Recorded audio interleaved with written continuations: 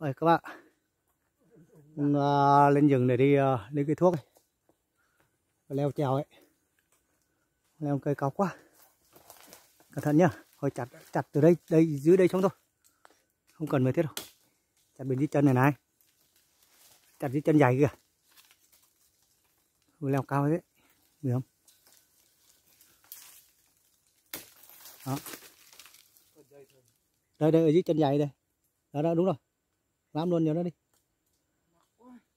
Đấy, đây đây đây. Không nó rồi. Cẩn thận nhá.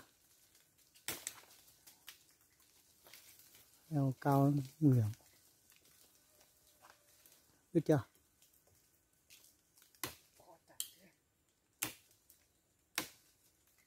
Leo cây một tay bám tay chặt, khó nó đâu có gì như cái đất đâu.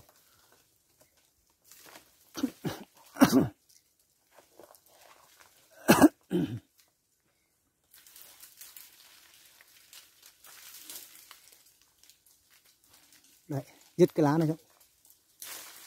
Đấy thả ra đi. Đây kia đứt đứt chưa? Hai giây cơ mà chặt hai giây cơ mà. Chưa? Hai giây rồi à cho chi vội vừa ném dao chứ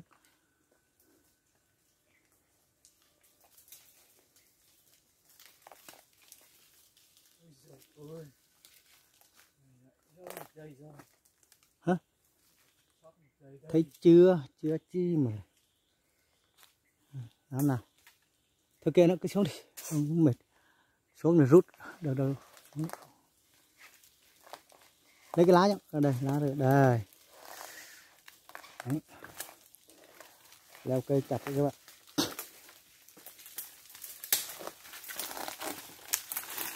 Đấy, cứ, cứ xuống mà chặt. Đấy, mệt không lao đâu rồi? Xuống đây, cái lá đây vào. Đây. Đấy, phải leo lên tít ở trên cao để lấy cái lá này các bạn này đấy. Cái lá cho các bác quan sát. Đây chính là cái lá cây mú tình đấy các bác nhé. Đấy, lá cây mú tình đây. Cũng, đây và đào lúc nãy vừa tự anh em đào lên được đây đây. Đây, dấu đào vào đây. Đấy. Đào rễ của nó này nha đấy đây, cây mút tần các bác nhé. Đấy. Thì có một loại nó rất chi là giống luôn. Đấy rất chi là giống. Ở đây. Thì ờ, uh, ở đây cho các bác xem. Đây có một loại nó rất chi là giống. Các bạn đây nhá đây. Đấy. Chặt ra nó cũng đỏ như này. Thấy chưa? Đấy. Chặt ra cũng đỏ cái dây cái màu da của nó cũng giống chặt rất là giống luôn này. Đấy. các bác nhá. Nhưng mà không phải. Đấy.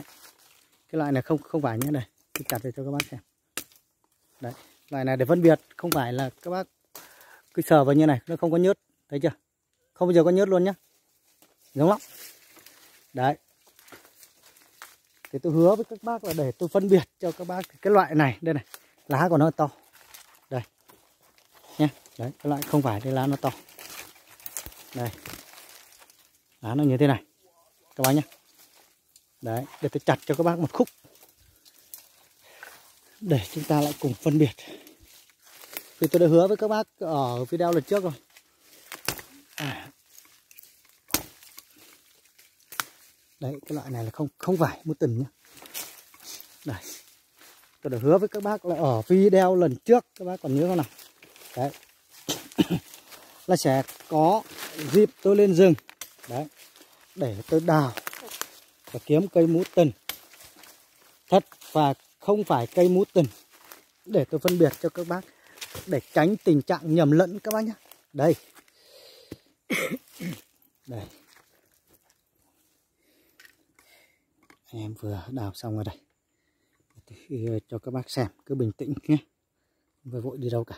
Trực tiếp tại trên rừng đây này anh em mình đây nhá, các bác quan sát nhìn rõ cho tôi nhé là cái loại giống cây mũ tần, nhưng mà lá nó to nhé đây, lá nó to màu xanh như thế này. Các bác quan sát nhìn rõ này nhé nó rất chi là giống. Khác mỗi cái lá, chúng ta nhìn nhận phân biệt khác một cái lá cho tôi nhé nhìn rõ này. Đây. Còn cái cây mũ tần thì nó như lá nó như thế này. Các bác nhìn rõ chưa? Đấy quan sát nhìn rõ cho tôi nhé. Đây đây là cái dây mũ tần chứ không phải cây nó thuộc họ dây leo. Đây. Đấy. Thuộc họ dây leo nhé. Đấy. Các bác nhìn rõ cái lá cho tôi. Rồi sau đó, tiếp tục để phân biệt với tôi là đây. Tôi thách các bác để nhận được ra. Vì nó rất chi là giống hai cái cây này tránh tình trạng để cho người tiêu dùng nhé nhầm lẫn nhé.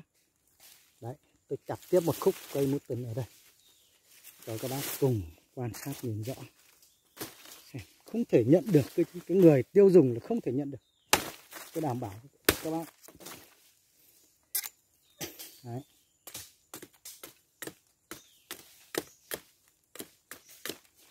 Rồi. Này nữa.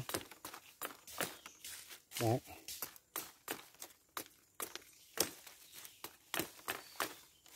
Rồi.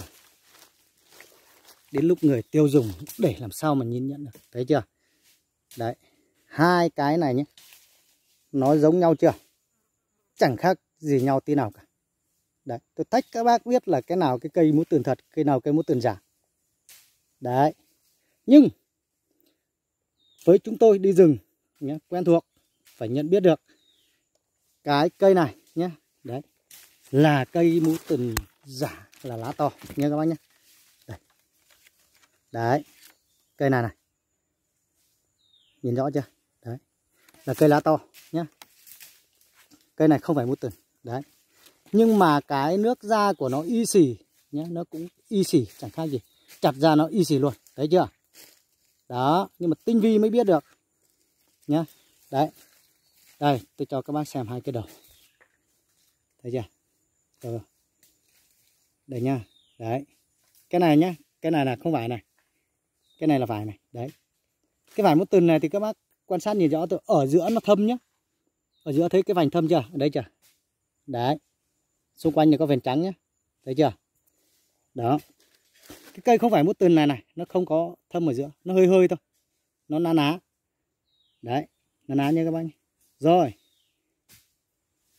Đến lúc để chúng ta nhận biết thêm nữa thì đây, cái cây mút tiền này nhá. Đây, sờ vào, cái vỏ lụa này nó nhớt nhé đấy, chỗ này sờ vào nhớt ngay. Nhớt có nhựa này. Các bác nhớ rõ cho tôi đi à nha. Nhớt. Đấy. Nhưng còn cái thằng này, nó không nhớt nhá. Còn cái thằng nó giống cây mút tiền này, ta gọi là cây mút tiền giả đấy, không phải cây mút tiền thật đấy, sờ vào nó khô. Không nhớt, các bác nhé đấy không nhất, ừ. thì người tiêu dùng dễ bị nhầm lẫn là như thế nào? Đem về rồi đúng không? Hai anh này băm vơi khô nó có màu giống nhau. Đấy nó có màu da giống nhau luôn nhá. Thì người tiêu dùng làm sao mà biết được? Đúng không nào? Đấy. Thì các bác tôi xin nói với các bác này tại sao rất chi là vô lý? Cái mũ tần thì lâu nay người ta bán hàng bao nhiêu đời nay rồi? Đấy mua tại cửa rừng nó đã giá cao rồi đúng không? Cớ chi cái người đã bán buôn mua đi bán lại dăm bảy lần vẫn giá rẻ là thế nào? Đó các bác lưu ý cho. Rồi có nhiều người cứ bảo ở dùng cây mũ tần nó không hiệu quả. Đó là chính cây này. Đó, bởi vì cái cây mũ tần này nó hiếm các bạn đấy càng ngày người ta ừ, thu hái thì nó cạn kiệt rồi. Đấy mà đã lấy cái cây mũ tần này cứ đào rễ. Đấy cứ phải đào gốc rễ cho nó nó, nó uh, mới tốt đấy cái đào như thế này thì một dây như thế này tôi xin thưa với các bác. Đấy đào như thế này thì nó lại phải hàng mấy chục năm sau nó lại mới mới lên được một cái dây to được như thế này đúng không nào? Đó.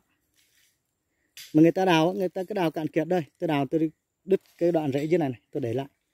Đấy để đời sau để nó trồi. Phát triển mà lấy thêm đúng không nào? Đấy thì tôi thắc mắc mãi tại sao mà, mà dây mút tần nó lại lại lại lại lại, lại người ta đã bán buôn mua đi bán lại bao nhiêu lần mà lại rẻ như vậy? Đấy. Thì tôi đã hứa với các bác rồi. Tôi hứa với các bác ở video lần trước ấy. Đấy, tôi có đi ờ, đào gốc trực tiếp ở cây mũ tần đấy. Đấy, tôi hứa là sẽ có dịp, đúng chưa nào? Đấy, là tôi lên rừng. Đây, là tôi sẽ đào và phân biệt cây mũ tần thật, cây mũ tần giả cho các bác. Đây, chính nó là thật rồi nhé cây mũi tườn thật, cây mũi tườn giả. Đấy, cho các bác xem.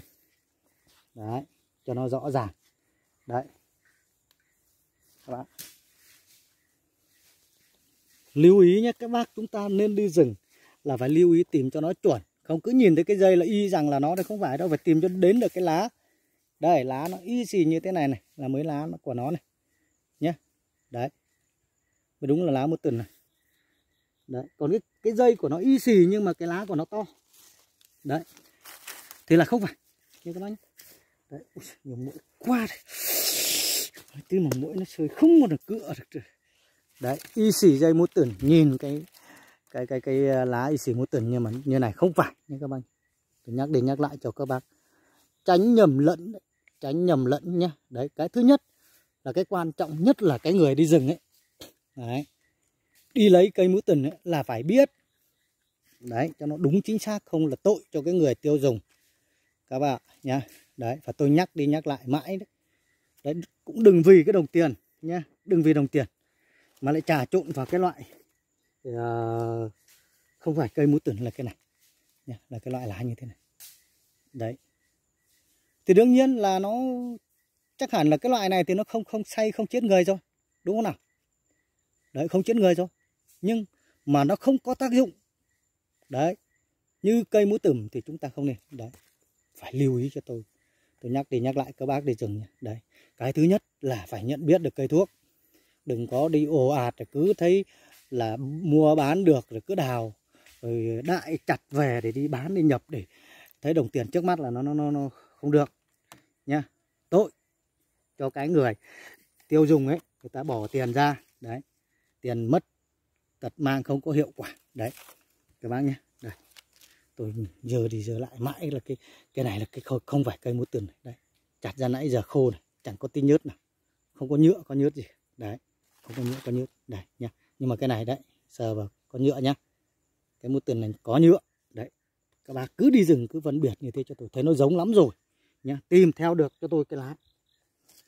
Đấy, tôi nhắc đi nhắc lại. Đây mút tường thật này. Tìm cho tôi được cái lá nhé đúng như thế này đó các bác nào không hiểu rõ từ cái chụp hình gửi cho tôi. Thời gian vừa qua từ cái lúc mà tôi cái quay ờ, đi đào cây mút tuần ấy thì có các bác ở vùng uh, tây bắc cũng mấy bác bị nhầm như đấy. Bởi đúng chắc chắn rồi đấy. Nó rồi cũng nhớt nhớt cái vỏ rồi nhưng mà đến lúc chụp gửi cái, cho tôi cái lá là không phải. Đấy thì tôi bảo thôi là thôi ngay. Đó đừng có lấy. Không thể lấy không may là là về cái loài cây uh, thuốc nam này không may không biết ra đúng mặt cây là uh, say chết người chứ không phải đơn giản đâu các bác nhé. Đây tôi nhắc đi nhắc lại mãi đấy. Đấy cho nên là đúng đến ngày hôm nay nhá.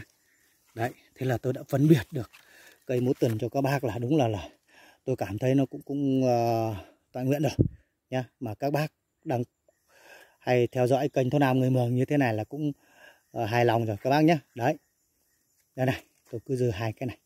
Bây giờ đi giờ lại cho các bác. Đây mối tuần, thật mối tuần giả này để phân biệt mũ tường thật mũ tường giả này. Đó và đây hai cây này nữa. Đấy cái cây này là thật này cây này là giả này. Đấy không có tí nhựa nào nhá. Đây tôi gọt ra tiếp một lần nữa cho các bác xem. Cho nó chắc ăn. Tôi phải làm tôi rất cẩn thận khỏi khổ cái người tiêu dùng chứ. Tiền mất tật mang chứ. Đây nha đấy nó y xì. Đấy cái màu của nó y xì. Đỏ. Và, và cái cái lát của nó như thế. Đấy người tiêu dùng bố ai mà biết được.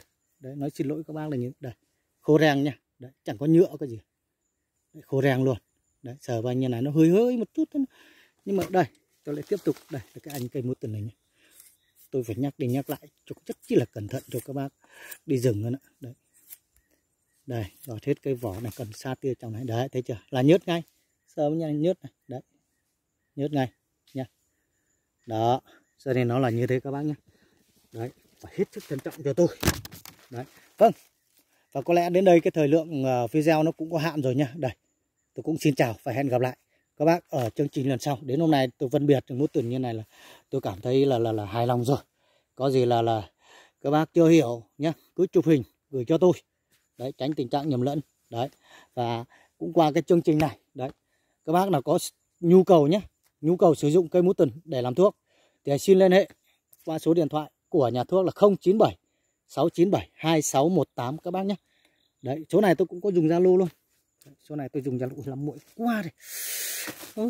làm tí mà. Chỗ này tôi có dùng zalo luôn các bác nhé đây cây lá một tuần tại rừng đây. Đấy nha.